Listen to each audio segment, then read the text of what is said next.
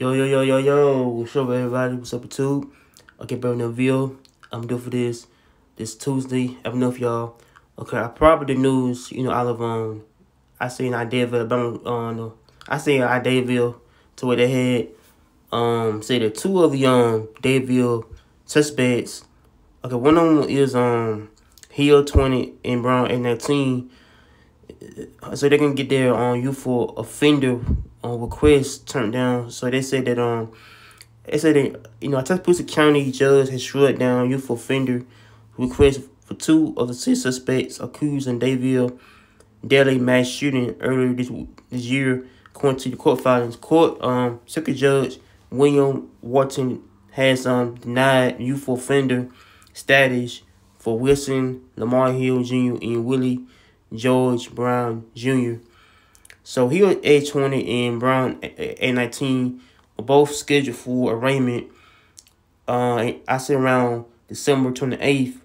The April birthday party shooting left four people dead, over 30 injured in local dance studio. All six suspects are charged with reckless murder.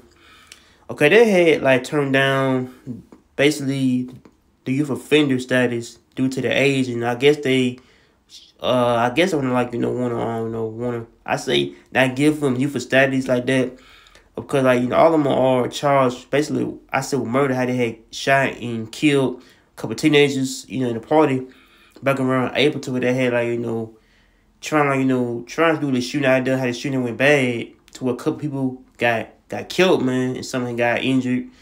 You know, but I feel like they, you know, it's a thing of word. I think these these um suspects on the screen is doing a lot of time.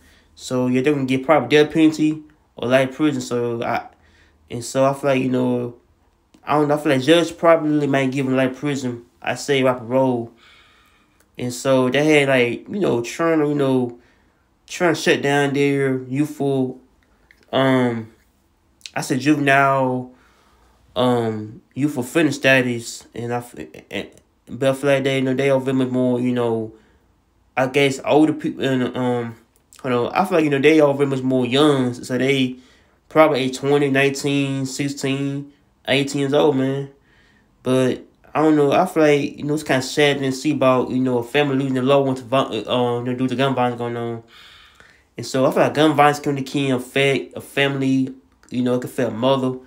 You know, you know. Uh, I feel you know things that it can affect a family member if they losing their son or daughter basically the gun violence going on, how gun violence can be a, a thing where people, I guess, had to live with their um, I say low one dying, but I feel like that these these um these um these um five suspects are very much more or either suspects are very much more doing like time behind bars. You know, I guess I said you know what occurred back a couple of couple of um months ago and how they're in jail now, facing you know type of type of like a charge of murder, man. How they shot into the party, striking, killing everybody in the party, man. You know how they had lost a couple of teenagers. You know, I get supposed to graduate this year, and how like you know football player had died.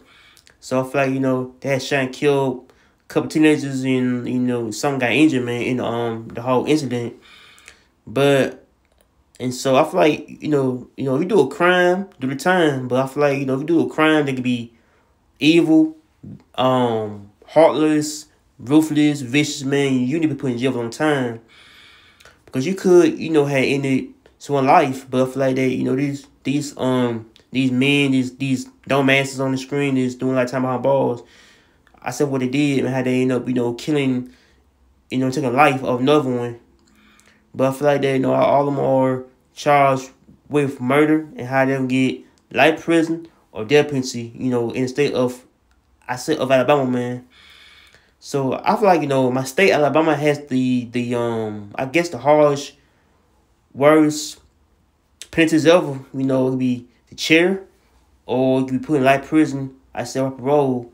But I feel like they you know, be very much more I say much more I, I think scripted to have these tip, um, type of people who who trying to make crimes in streets, I guess to put in jail for a time.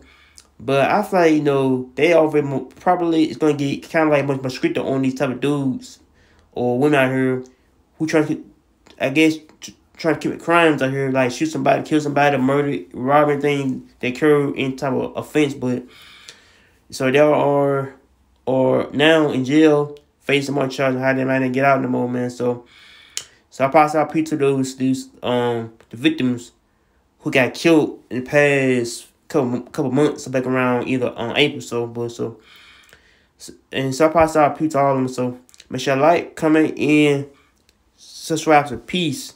I'm out here. Take care. Peace.